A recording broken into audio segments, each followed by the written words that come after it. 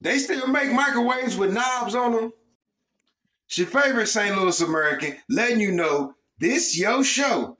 If the clock on your microwave ain't set right, you know, when you first bought it, you got all into it, you set it right, but then either the electricity went out, daylight spending times happened, or somehow the microwave got unplugged and you ain't set the clock right since. But amazingly, you still know what the right time is based on your wrong time in the kitchen. It's really 7:30, but your kitchen time say 9:36 and you know that you have exactly 15 minutes to get to work based off your wrong time in your kitchen. It's amazing, ain't it? This your show.